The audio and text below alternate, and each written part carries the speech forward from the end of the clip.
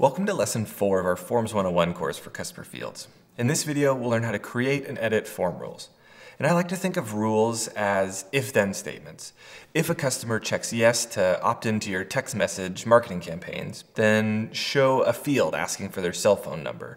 If a customer says they are a tax exempt company, then add an additional form step to get the right documentation from them. This powerful flexibility allows you to create highly personalized and effective forms for pretty much any purpose that you can dream up. I'm Brandon from Customer Fields. Let's get started. So here's a form I made that lets customers apply to be an influencer for my brand.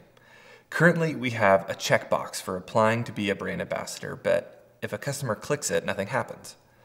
I'd like to create a rule that sends them to another form step if they check this box so that we can get more information from them and see if they'd be a good collaborator. To do this, we open up the Rules tab.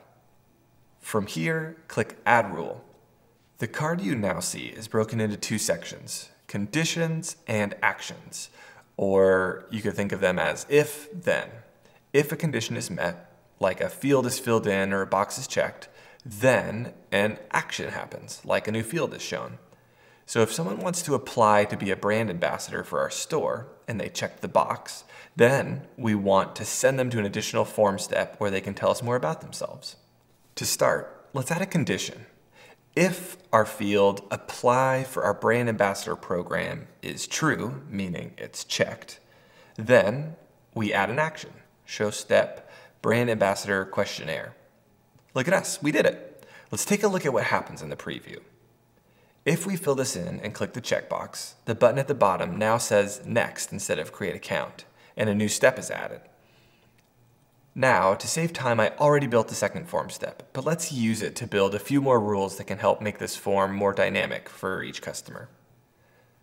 As you can see, we have a drop-down field for country. Right now, our pretend store can only ship products to the United States. So we only want to get applications from people in the United States. So I created a paragraph field explaining this, but it currently shows up no matter what. Let's make a rule that fixes this.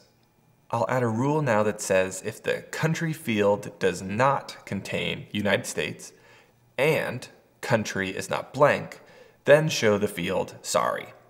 Let's try this out and make sure it worked. Perfect, it works. Okay, last example, just to hammer these rules home. Once we've confirmed this customer does live in the United States, I want their address information so I can send them something. Let's add a rule. If country equals United States, then show field, address group. Now, rather than only showing one field, we're displaying a group of fields based on a condition that we've defined. How cool is that? There is so much you can do with rules. And if you get lost along the way, reach out to our support team. We also have other ideas and use cases in our help docs, which I've linked in the description. In the next video, we'll talk about form settings. In the settings, you can rename the form, redirect customers once they've completed the form, and choose how accounts will get set up on form completion. I'll catch you in the next video. Thanks for watching.